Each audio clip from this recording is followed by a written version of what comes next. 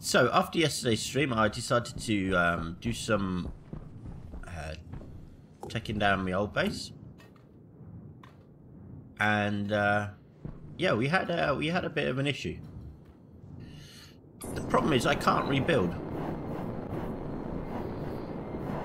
um, because uh, if you look into the um, the ruin that is my base.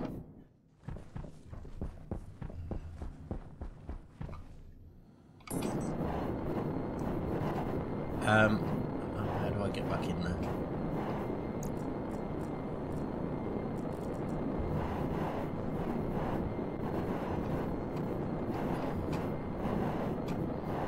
Um, I've lost all my printers.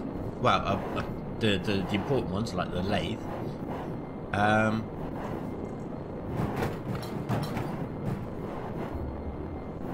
and even if I did have printers, uh, I've lost all my power. so um, I suspect what I did because I, I died taking down the old base. Uh, I was um, taking down some um, some pipes. Um, what I suspect I did, I spawned in uh, in the EVA suit um, because my other suit was damaged, and I um, immediately put the tool belt in the locker. Now the the uh, as you know, the EVA suit comes with a fuel welder. So I suspect in the in the Venetian atmosphere, um, my tool belt, which was in a locker over here, um, initiated a rapid, unplanned deconstruction event. Um,